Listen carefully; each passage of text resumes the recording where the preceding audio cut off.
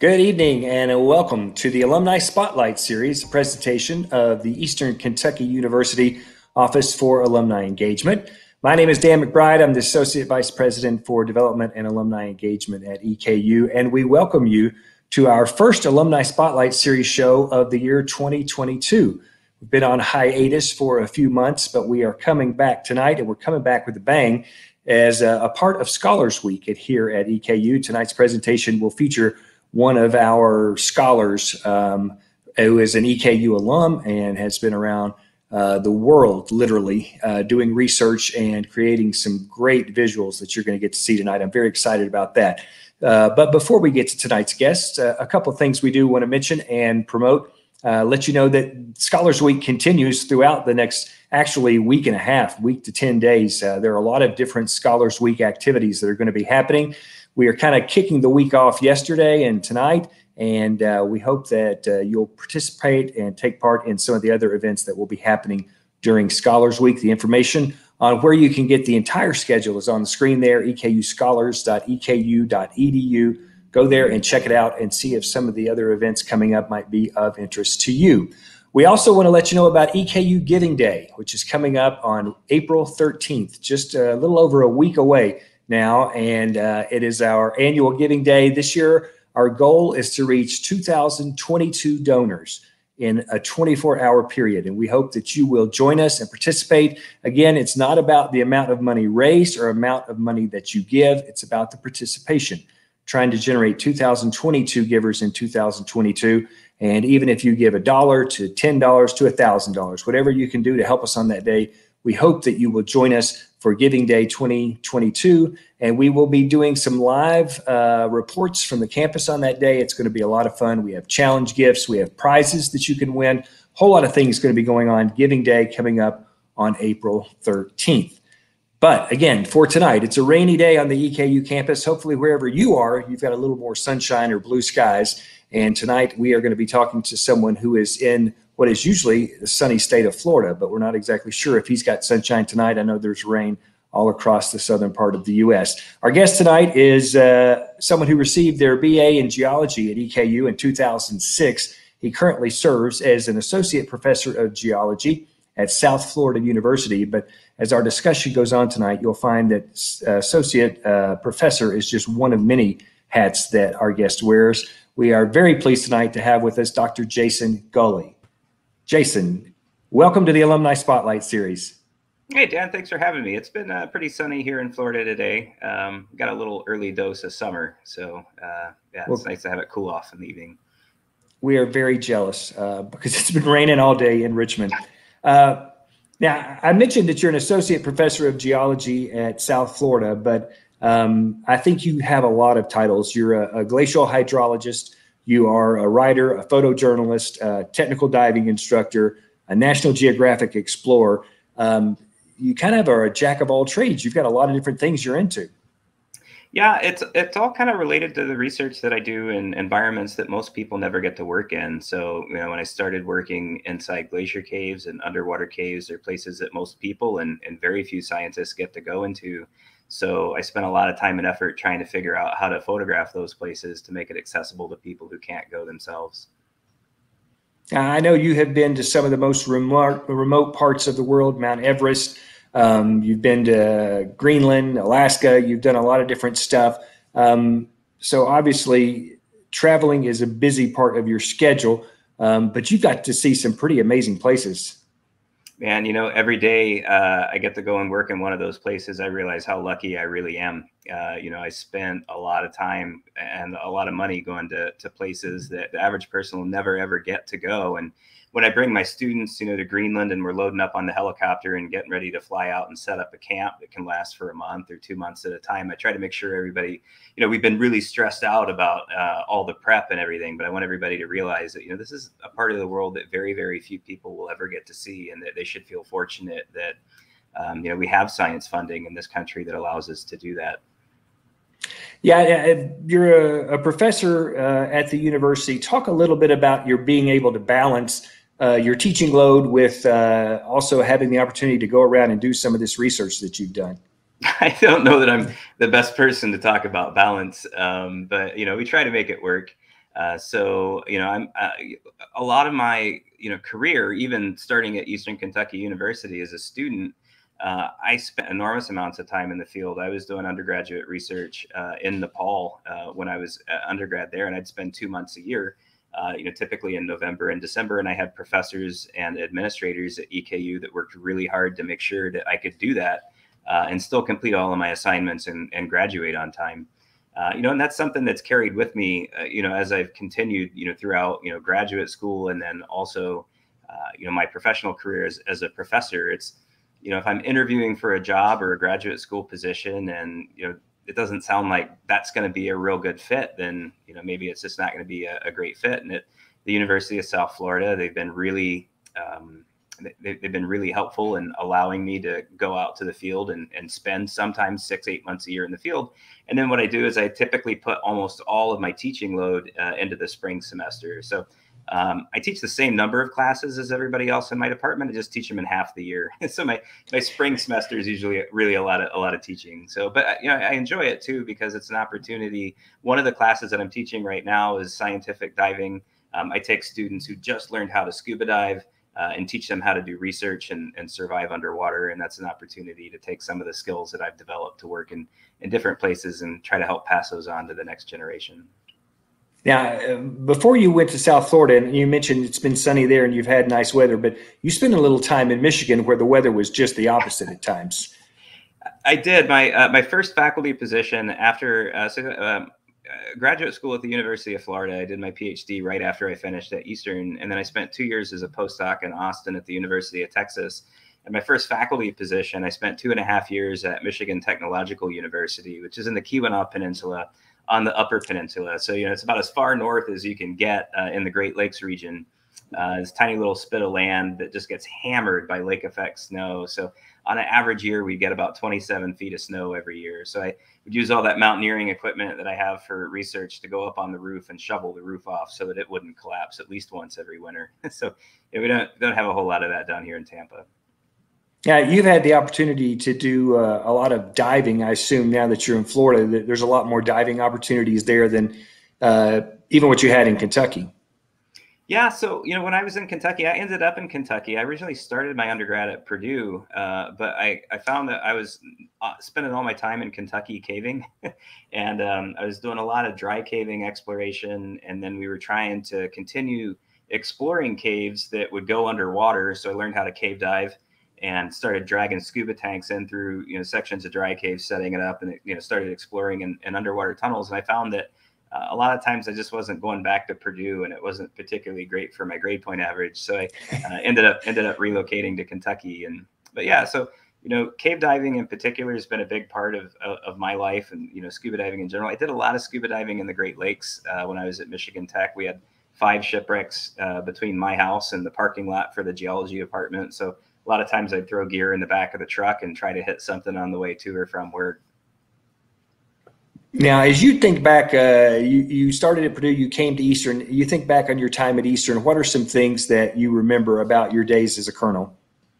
Man, you know the the geology department was was really great uh, to me. It was, um, you know, it's one of the the few places in in uh, in academia where you could still get like a classical geology education. So, you know, I, I work at a, um, you know like a major research university now, and you know, it's not to say that uh, we don't care about teaching. Like we all care very much about teaching, but um, a lot of what we're hired to do is is research. Um, you know, whereas you know we had great professors at Eastern Kentucky University who spent a lot of time and effort trying to make sure that we were learning, um, you know, a, a, classical like foundation for geology that I don't think that you get um, in a lot of places anymore. Um, so, you know, I had that going for me. I spent a lot of time caving. Uh, anytime I wasn't in the classroom, um, I was usually caving. Or uh, when I first started working inside glacier caves, I had to learn how to ice climb. So I'd leave class uh, on Friday, drive up to Canada, uh, spend Saturday and Sunday ice climbing in Canada, and then try to drive all the way back from Canada to be back in class on on Monday. So those were always uh, always good trips uh, as well. Those are things that you can do as a college student, but maybe not uh, make those same kind of drives today back and forth. It's as you get older, I'm sure you're like me that that was a great idea when you were a college student, but maybe not so much today. Yeah, I don't. I honestly, I really don't know how I, I, I did it. I hate driving anymore. So, um, but yeah, driving 15 hours for the weekend seemed like a reasonable thing to do at the time. One of the professors you had uh, at EKU is the professor that I had when I was here as well, Dr. Ralph Ewers. And I know you had said that he had a real impact, and some of the things even that he was doing helped you in some of the research you're doing today. Yeah, so Dr. Ewers did like his dissertation research that he did for his PhD was really the foundation for all modern thinking in cave hydrology. Um, so, you know, winding up at a place like Eastern Kentucky University was just a, a, real amazing gift to the university. So, what I was able to do was I would sit in his class learning about how he helped understand how caves develop and change this older model uh, for cave development in limestone at the same time that I was starting to work on similar problems in glaciers and I realized I was like, hey, wait a minute. Like, if I just did all the same stuff that Dr. Ewers did in limestone in glaciers, I'm pretty sure that we could get pretty far at understanding how water is flowing through glaciers. And that's exactly what I did. Um, so, you know, like I said, just I don't know that I would have the career that I have now if I hadn't sat in a class uh, with Dr. Ewers and heard all about the stuff that he did um, as a graduate student. Yeah. And obviously, he was pretty entertaining in the classroom as well. He always kept it interesting. he sure did. Yeah, we, we, we, we, we were talking, uh, you know, earlier about how he'd climb up on the desk and you know read from the book, and you know he was still doing that right up until the time that he retired.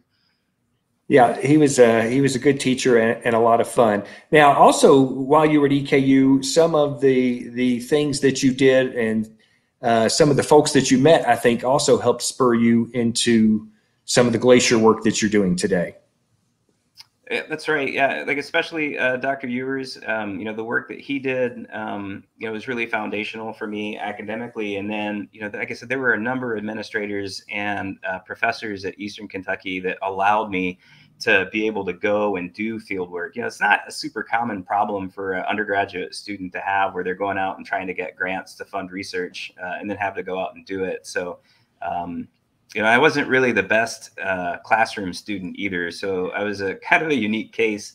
But um, I, you know, I, I, was lucky to have professors and, and department chairs and administrators who saw that I had a drive to learn, uh, and maybe it wasn't the most traditional way of learning, and they worked with me to help me get to where I wanted to go. And like that's something that you don't get everywhere.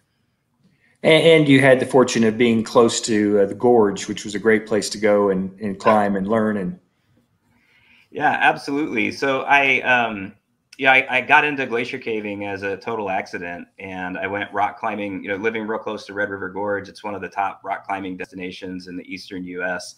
Uh, mutual friend uh, invited me on a rock climbing trip with a glaciologist from Scotland who was studying these uh, how climate change was affecting glaciers in the Everest region causing glaciers to melt and turn into these large, uh, unstable lakes that would drain catastrophically through the glacier through caves.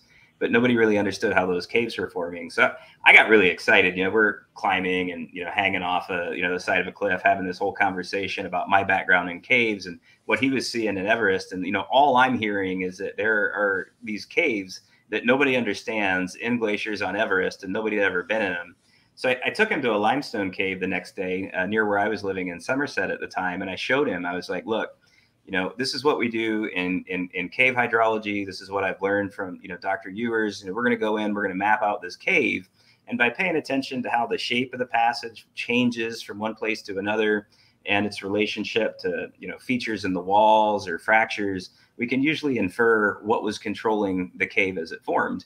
I was like, if we go to Everest and we do this, like I'm sure we can figure out how those caves formed. Of course, you know, Dr. Doug Benn, the glaciologist that I was working with, when he tells the story, he's like, when we first started, uh, you know, the only thing that I knew of, you know, the only thing that Doug knew about caves uh, was that they were dark, and the only thing that Jason knew about glaciers was that they were cold. You know, I'd never even seen a glacier at that point in time in my life, so um, yeah, I don't know. Looking back on it in retrospect, I'm kind of su- amazed that we survived any of the, the early trips because I mean, we literally rocked up to the Everest region with no experience in glacier caving at all and managed to not die. Um, you know, we just took my background in caves and his background in mountaineering and glaciers. And anytime something really bad happened, we just sit around and you know do an audit and be like, hmm, well, we should probably remember everything that led up to that and, and not do that again.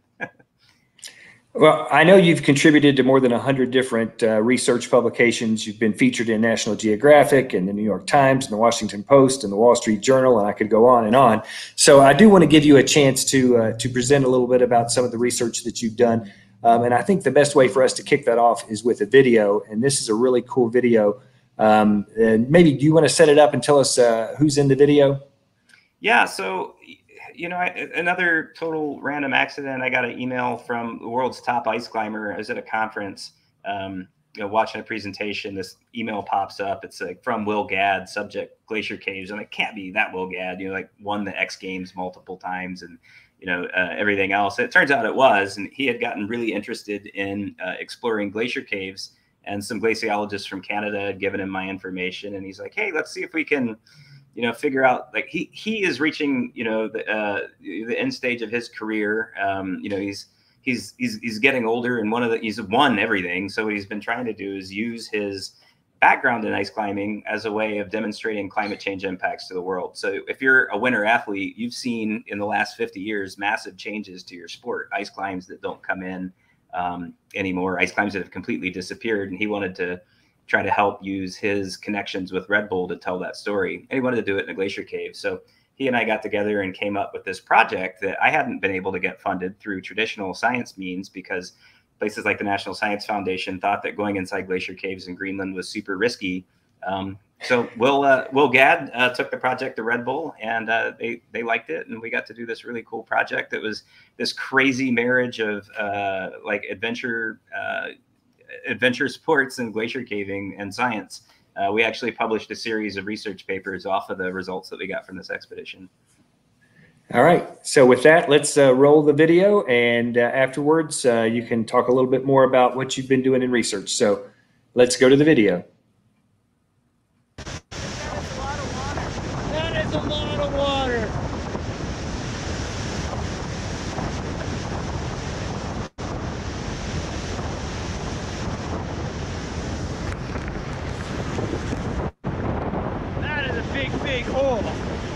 Will Gadd. I'm a climber, guide, adventurer.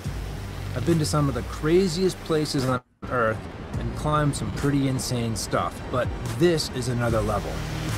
What a powerful place, eh? Like, just, whoa. I've never been into any place like this, ever. yeah, me neither. This is next level for sure. Nobody has ever dived underneath an ice cap before. I want to get in there and figure out how the water moves through the ice in Greenland. It is loud in there. That is a massive amount of water, thunder like coming up from the inky blackness down below. The moulins are basically the thing that connects the surface meltwater to the base of the glacier. And what we're trying to do is understand how those large fluxes of water down into the moulins affects how fast the ice sheet moves, how fast that contributes to the ocean, and then in turn, how fast sea level is going to rise in the future.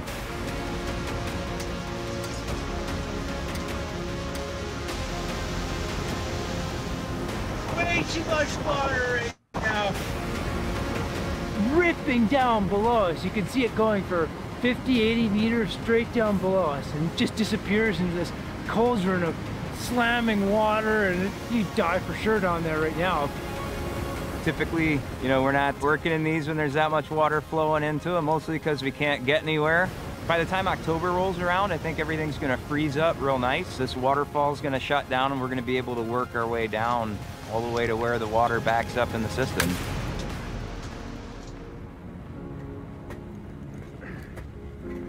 Yeah, this is looking good. We have potential to do what we want to do, which is go farther under the ice than anybody's ever been, and add a few things to the scientific database about how ice works. This is great. And yeah, I'm looking forward to October. This is most people's version of a frozen hell out there. It's minus 30, blowing a hoolie. Just setting up camp is really difficult. Our starting place is about as wild as it gets, and then we're gonna bump it up several levels after that. There's no like book on how to dive moulins on top of a Greenland ice cap.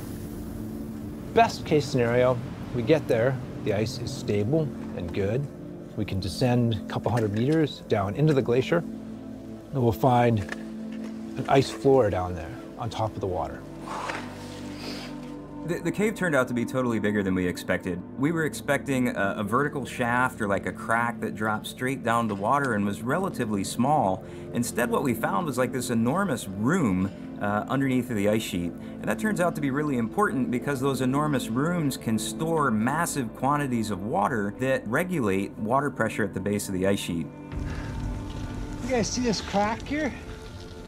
So with glacier caves, there's uh, a lot of dangers that you have to look out for, but um, we definitely didn't expect this cave to be as broken up as it was. There's one really extra scary block that is basically already fallen over, and it's just kind of hanging there.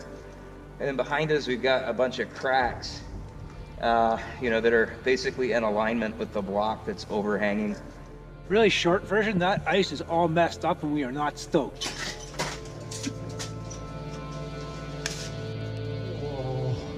the ice quality was so bad, it really scared me. You know, I'm, I'm around a lot of ice, and, and this ice was not good. Anything that falls in climbing is generally bad. When you're stuck down a hole where the only place that ice can go is toward you, it's horrifying. There's a lot of hazard over your head. Any one point could be critical for your survival. If you don't feel nervous at the bottom of a Moulin in Greenland, then you probably ought to get your head examined. When we went in the first time, the floor was pretty flat. When we went back the next time, there were ice blocks everywhere. It was just a big ice breccia that was all frozen together. Clear evidence of a lot more collapse. Bottom line, that was not a safe place to, to, to be. And the only way to make it reasonable is to minimize your time exposure in it. So look it up above us, that's all starting to break down. Lot of adventure and exploration is, is judging the risks and, and making good decisions. And for me, the first goal is always to come back. That's the end of it there. It just goes right to the end, the ceiling comes down right there. And now I think it's an excellent time to leave. Really disappointing not to get to dive, especially because we saw a site that was going to be so easy to stage from. You could not justify diving in that environment. You might be getting your gear on and then get hit by a two-ton block of ice. And there's just no way to make that worthwhile. One of the things that's really important about exploration is that until you go into these things, you just have absolutely no idea what they look like. You have no idea how they work. This trip was one of the most successful trips of my life. I survived, that's great, but we also learned that the model everyone is using for the Greenland ice cap needs revising. We made a genuine scientific discovery here that has an impact on how people look at melt in Greenland. And I got to use my sports to help do that. We didn't get to dive this time, but we're going to dive one of these things at some point in time. So I'm not done with this idea. I'm fired up for the future for sure.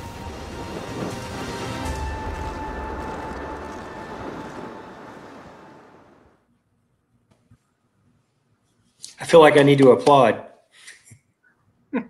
Thanks. No, it was a great, it was a great trip, and you know, it was great to be able to highlight something that um, you know it doesn't come up so much in science anymore. You know, 200 years ago, all you needed to be a scientist was to get on a boat and sail somewhere that Western people had never been before and write down everything that you saw, and that was science. And you know, the ability to do that is is shrinking more and more. You can do that in outer space, and you can do that in the deep ocean. You know, in both in both places, you need like millions, you know, to billions or trillions of dollars. Um, you know, whereas you know, I mean, caving inside the Greenland ice sheet, for example, isn't exactly cheap. Um, you know, but it is still a place where direct exploration has an opportunity to inform science in ways that uh, other techniques just can't. You know, for example, like the only other way that people have seen the inside of the Greenland ice sheet is with geophysical instruments or numerical models, and it's it's kind of like trying to study the human body with an X-ray machine. Um, you know, from really far away. Uh, you know, you just kind of get these blobby little images, and you're like, well, what does that mean, right? Because you don't have any context to put it in, and that's what we're able to do with the work that we've been doing. One more question, and then I'll let you you talk without interrupting you. But uh, you said someday we're going to get to to dive. Have you gotten yet the opportunity to dive in one of those? We haven't, no, because uh, soon after we went back the next year uh, and mapped another moulin, uh, and it was a lot more stable, and it looked like a site that would be really good for diving. And then COVID happened, uh, so you know, COVID ended up shutting down all of my international field research for two years now. So. All right, I'm going to close my mouth for a while and let you talk and tell us a little bit more about some of your work. All right, awesome. Well, thanks. I'm going to um, pop up a, a, screen here and just show and, and, share some images that I've shot from some of the work that I've been doing uh, in a bunch of different places. And um, let's see, hopefully this is uh, working out okay because I can't see. But that caption should drop off in a second. So this is just a picture of Will climbing out of the moulin from from the video, and it's a way of showing you know these kind of unique spaces that we that we get to work inside.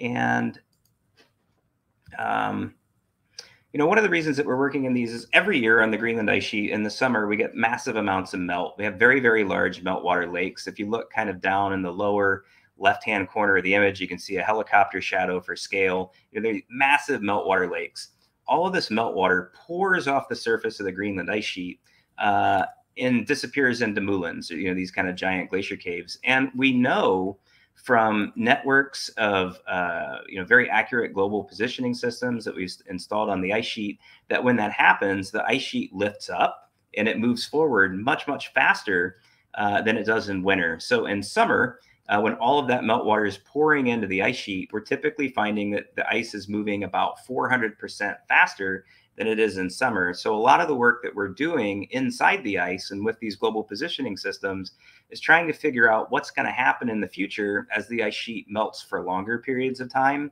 uh, and melts more intensively. So uh, we can't go inside the ice, uh, or we can't go into any of the glacier caves during summer. There's just far too much meltwater uh, pouring into the moulins. So we typically wait until fall, which is actually one of my favorite times to be in the Arctic uh, because you get these amazing sunrises that bleed into sunsets. You're so far north uh, that by the time October rolls around, you can have a two hour sunrise, a couple hours of daylight, and then, you know, a two hour sunset. And uh, this is a, a picture of one of the people on our expedition just kind of ascending right as that sunset's kicking off. The other thing that we get is uh, aurora. Uh, so, you know, at night it's freezing cold, but you can uh, poke your head outside of the tent and see some of the most spectacular uh, displays of, of, northern lights. Um, dropping into the caves, uh, like I said, one of the things that we highlighted in that film is that, you know, I have been studying glacier caves around the world for 15 years, and I, it completely blew my mind how big uh, the caves inside the Greenland ice sheet were. If someone had told me that they were going to be that big, in advance, I would have just told them that they were, you know, flat out exaggerating or lying. Um, you know, so this is just a picture of Will climbing out of, you know, that one very, very large chamber that we repelled into. And these chamber sizes tend to be really important uh, features that can go into models that we use for relating how meltwater affects how fast the ice sheet moves. These these chamber sizes control, you know, the volume of water that's stored in the ice, and we typically think of them as being very small, but uh, no one had ever considered them being this large before. And again, we use a lot of you know fairly advanced rigging and, and rope techniques to you know get in and out of these places. Uh, very very few portions of these caves are horizontal. We're almost always on rope. Uh, this particular cave had a short section of horizontal passage from where all of the meltwater had backed up into the cave uh, and then frozen like a lid on top of a shaft that continued for at least another 600 meters below our feet that would have been completely full of water. Um, other places that I've worked quite a bit. Uh, this is a photo uh, from very close to Everest Base Camp on the Khumbu Glacier. It's uh, there in the background. And glacier caves play a really important role in controlling how fast glaciers in the Himalaya are melting in response to climate warming. So current projections are that by 2050, uh, the rate of warming has put the Himalayas on track to lose 50% of all of its ice. So 50% of ice loss by 2050, largely as a result of melting that occurs under these caves. The reason that caves are so important is because the glaciers in the Everest region are covered in debris. So if we look at this kind of long feature that's extending from the left uh, over into the right, that's actually a glacier. You know, a lot of people think it's a giant pile of gravel or rocks, and that that is what exists on the surface. So these glaciers are fed almost entirely by avalanches, which contain almost as much rock and sand as they do uh, actual snow. So when the glacier actually starts to melt, all of that debris accumulates on the surface and it should be like a blanket that insulates the underlying ice from melting. You can imagine like taking a giant Yeti cooler and cutting it open and laying it on the surface of a glacier. That's what this debris should be doing. But what we find is that the glaciers that have all of this debris on them are melting just as fast as the glaciers that don't. And part of the reason for that relates to work that Doug Benn, the glaciologist that I went on a rock climbing trip with, uh, had been doing on these lakes that form on the surface of glaciers. So this is a picture of a whole bunch of ponds that are on on that same glacier from the previous image. Uh, it's the Ngozumpa Glacier. It's uh, 17 and a half thousand feet above sea level. This is in winter, so these lakes are starting to freeze over. But in summer, you can see that that water is pretty dark. Uh, so it's a whole bunch of suspended sediment. When the sun comes out and blasts all of these ponds with solar radiation, that water will heat up to about eight degrees centigrade, which doesn't sound super warm. You're probably not going to want to go swimming in it, uh, but it can melt a lot of ice. So, what it ends up doing is finding little cracks and permeable debris bands, and that warm water starts flowing underneath of all of that debris and it carves out these elaborate cave systems. So, what it's doing is those lakes, by draining, they're actually melting the ice from underneath of those debris layers And, yeah, we get some really big tunnels and some not so big tunnels. So um, again, it turns out that the hardest thing that we have to do when working, you know, between 17 and a half thousand and almost 20,000 feet is crawling. Um, it's very, very hard to catch your breath when you're crawling in some of these places. Um, this is a photo that I always love to show that talks about the different material properties of, of glacier ice. So we think of like ice in a cocktail as being a brittle substance. Um, you know, it cracks or breaks, but um, under lots of pressure, like inside of a glacier, the ice actually moves a little bit like silly putty. So if we look at these crazy curly cues and shapes of these uh, icicles have been warped into, it's because the ceiling is actually being squeezed shut. It's being pushed down uh, by ice pressure, and it'll eventually smash into the floor. So, um, because it's doing it very, very slowly, these icicles are are warped and bent into these crazy shapes instead of just snapping. And uh, so, I always like to say that, like, if you're claustrophobic and you feel like the walls are closing in on you, glacier cavings definitely not for you because they actually are closing in on you. Um, and again, you know, this is um, being able to work in, in the Everest region it, every day is just kind of like a gift. You know, this is a cave system that we map that goes directly underneath the Everest base camp. That peak that's being lit up in the background there by the last rays of sunset is is Everest. We're not there during the climbing season, which is earlier in the year, but um, you know, I've talked to a lot of climbers that just had no idea that any of this even existed up there, and they're you know they're literally camping on top of it, much like a lot of people don't understand uh, or know about a lot of the caves, you know, in Kentucky or Florida or other places. So, in addition to the work that I do inside uh, glacier caves, I do quite a lot of quite a lot of work in underwater cave systems, like uh, this cave in the Yucatan. And here we get to access a lot of other super unique environments.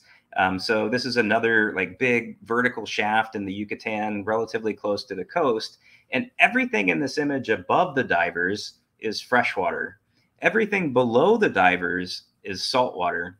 And right where those two waters meet, we have this crazy microenvironment where uh, microbes live. There's this unique cloud of bacteria, well, not bacteria, it's a unique cloud, cloud of microbes that are living off of um, gases that are produced from the salt water that's underneath. So there are bacteria living in the salt water underneath of here that um, have no oxygen. So they eat the sulfate, it produces hydrogen sulfide gas, bubbles up to this layer, and those bacteria eat it. So it's an opportunity to explore some of these like crazy um, uh, places that people have never been. I got to work with a lot of robotics teams. Uh, people who are developing autonomous underwater robots that will eventually replace us as human explorers. Um, this is a picture of Sunfish. It's an autonomous underwater vehicle that um, can explore uh, independent of uh, human uh, interactions underwater cave systems and map them and bring those maps back to teams on the surface. When uh, COVID happened uh, and the pandemic shut down all my international research, I started focusing on a lot of environmental stories in Florida, trying to use my combination of photography and science as a way of informing people uh, about problems in our own backyard. And this is a picture that I show a lot of a spring that I've been diving in for more than 20 years. And when I first started diving here, um, this water was crystal clear. And like now, it's still a nice image, but you know, this is about as clear as it gets. And and the water's pea green. It shouldn't ever uh, be pea green, but this is something that's kind of happening to places around the state. Uh, caves that I used to dive in had crazy amounts of water flow because so much water is being pulled out of the aquifer for agriculture and for uh, human development. Over 900 people a day are moving to Florida, and all of them need water. Uh, the flow in these caves is reducing, and some of them have stopped flowing entirely. But perhaps one of the biggest problems that we have uh, is nutrient pollution from agricultural fertilizers uh, and uh, septic tanks and sewage, which is fueling uh, these massive blooms of algae that are choking out all of the native grasses inside the spring run. So this is a photograph from Wes Skiles Peacock Spring State Park. It has the last one of the last stands of eelgrass that's being smothered by algae. Um, so again, once all the eelgrass is gone, things like turtles don't have anything to eat. A, if you've been following the news, we had a similar problem over in Indian River Lagoon over the last two years, where an explosion of algae from nutrient pollution uh, triggered uh, uh, manatee starvation. So all of the seagrasses in the entire lagoon collapsed. There's like no seagrass anywhere in the lagoon anymore. So when the manatees move into the lagoon in winter, uh, they don't have anything to eat. And uh, this is a photograph of the lower jawbone of a manatee that's covered by the same algae that wiped out the seagrass that they would have ordinarily eaten. And I spent a lot of time, you know, photographing things like, you know, the, the algae covered rib bones of the manatees, um, and manatees on on shorelines is a way of trying to show people that like look you know this is an animal that we love in florida and this pollution problem that we have is is destroying them and their habitat. And you know it was it was super depressing. Um, you know watching you know thousands of manatees die isn't isn't isn't great. And I, I think that one of the things that it's easy as env- environmental scientists and photographers to get fixated on um, are the problems uh, so what I wanted to do though was also focus on people who were working on solutions. So I live a couple miles from Zoo Tampa. They have the second largest manatee rescue and rehabilitation facility uh, in the state. And they go out every day and they rescue manatees and they bring them back and they treat them for their illnesses and nurse them back to health and eventually release them. Uh, so, you know, being able to to watch people that are going out there and trying to solve the problem and help address the problem. This is a stopgap measure. It doesn't solve any of the environmental problems, but you know, this manatee here, his mother died. Uh, her mother died. Uh, she was rescued. She'll spend two years probably at this facility, um, you know, being nursed and bottle fed until she, you know, reaches adulthood and learns enough about being a manatee from the other manatees that are in captivity, um, or, or sorry, in rehabilitation, and can eventually be released back into the wild. I also got to meet other people like um, this diver. He's with a company called Sea and Shoreline. He's working as part of a public private partnership to restore Crystal River. So, Crystal River, much like Indian River Lagoon, was a cesspool of, of pollution that wiped out all the visibility uh, in, in, in the estuary and killed all the seagrass. So, what the community there did was they're like, well, we actually preferred our environment the way that it used to be. Um, so, they fixed a lot of their sewage problems and they started trying to think about how they could fix the environment. So the first thing that they needed to do was remove decades of pollution from the bottom uh, of the estuary. So they came in with a commercial dredging uh, unit and they're vacuuming up in some places 10 feet of organic rich muck so that they can come back and replant the eelgrasses that used to live there. You see this little cage that the grasses are getting planted under. What that does is it protects the grasses from the manatees who would otherwise come in and eat the grass right after it's replanted. The cages stay on there for the better part of a year, and then the roots are able to grow out from underneath of the cages and cause a whole bunch of other grass to grow. And the roots underneath of the cages get really, really deep so that when the cages are removed, the manatees can come through, they can eat the grass, and um, uh, and and then the, the, grass will just keep growing back, much like when you mow your lawn uh, the grass just kind of keeps growing. And uh, now, uh, you know, Crystal River has a year-round population of, of, very healthy manatees and these, you know, kind of luxurious uh, seagrass beds. You know, it's an amazing restoration effort that came about as a result of, you know, local and, and state governments working together with uh, scientists and also um, just private citizens to, to fix problems. And you know, it provides a model and a roadmap for fixing a lot of problems that we have in, in other parts of the world. So, you know, for me, you know, because COVID canceled so much of what I was doing in the past, it gave me this kind of new and unique opportunity to try to blend uh, some of my interests in photography and uh, science and, and news and storytelling. And I don't know, I think in, in the future, I'm probably going to be doing um, uh, a lot more of it. Even though my, my research is coming back, I, I don't feel like I'm going to stop doing um, any of this type of type of work.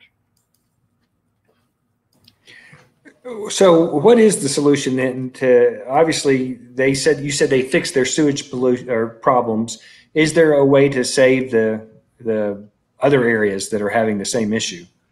Yeah, you know, it's tough, right? Because um, you know it's gonna it's gonna require state level intervention. Uh, you know we can't we're, we're building septic tanks uh, in, in large developments and places um, where septic tanks are just not going to work. Um, you know they were never designed to work in the type of limestone environment that we have in florida. Um, so they're big polluters. And then um, you know we have a lot of agricultural um, a, a, big agricultural industry. So I think at some point the state's going to have to, you know, decide like, do we want to have an agricultural industry or do we want to have, you know, healthy springs and watersheds? And you know, it may be that in order to make both work, you're going to have to scale down, um, you know, the, the scale of the agricultural industry or or change some of those practices. But those are things that I think are um, a little bit outside of what we can do as individual citizens, um, which is why I think it's important that uh, you know, science works together um, with you know public and private interests to inform government to try to manage all of these different um, you know competing interests that we have. Because you know, ultimately, you know, somebody, you know, my grandfather worked at a dairy farm in Florida. I mean, you know, there are a lot of people whose jobs are tied, you know, to an industry that's doing things that aren't particularly great for the environment. And it would be great to say like we should just stop all farms in Florida, but that's not practical. So you know to solve the problem we have to try to get everybody to talk to each other and figure out like what the middle ground is going to be and that's a tough spot. All right we've got a couple of questions from some of the folks viewing tonight and the first one is what can the average person do to help support this type of research or bring more awareness to these type of problems? Yeah so um, you know there there uh, you know, voting is critically important. Um, you know, trying to pay it not only showing up and voting, but paying attention to you know how the politicians that you're voting for feel about um, you know issues that you think are important, right? So you know, it's really easy. It's really easy in this hyper partisan environment that we live in to get fixated on one or two of a couple of issues. Um, you know, but there are so many other things that politicians do and vote on uh, that I think tend to get overlooked. Um, and it's made it really easy in places like Florida um, to uh, just get a whole bunch of legislation passed that makes it super easy for people to pollute. Um, so, you know, I think, um, you know, particularly in primaries, um, you know, if, if, if, you have a team that you're always going to vote for, um, you know, particularly in primaries, trying to make sure that, you know, that primary field and that you're voting in the primary that those people are you know reflecting your interests in in preserving you know the parts of the environment that you think are important.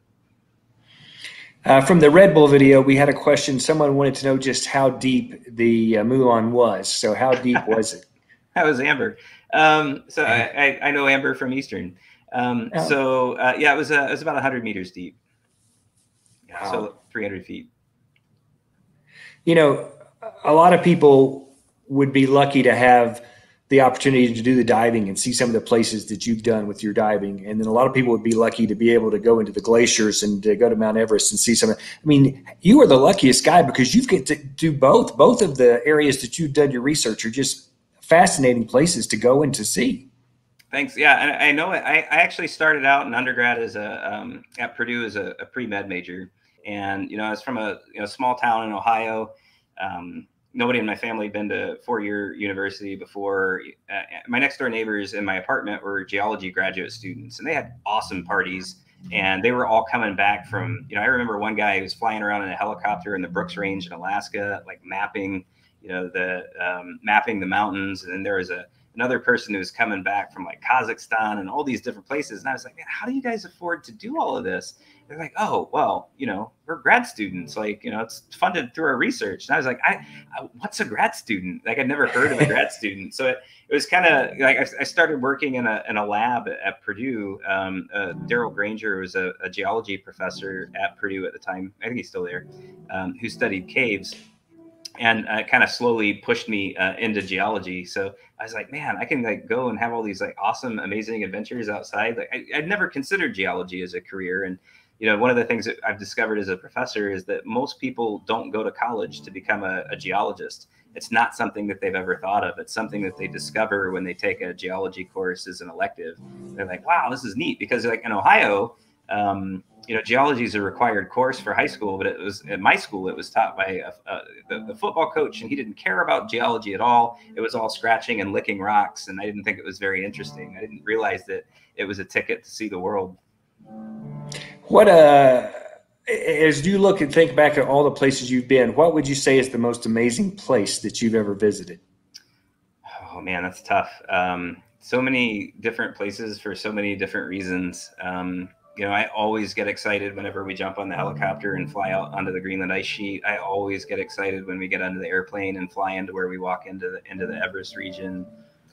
Um, yeah, I, I don't know. So that, that, probably the most memorable trip I ever made though was the first expedition that we did uh, to the Everest region to map glacier caves. Like we had no idea what we were doing. We had no idea if we were even going to be successful and everything that we did was new and exciting. It was like every like not only was it exciting from an exploration standpoint, but the stuff that we were seeing was so different from what people had predicted would be inside glaciers. Like as an example, like people had predicted that all of the caves should be pretty vertical. So we had hundreds of meters of rope, backpacks full of ice screws and everything else. We didn't use them at all. All the caves were horizontal.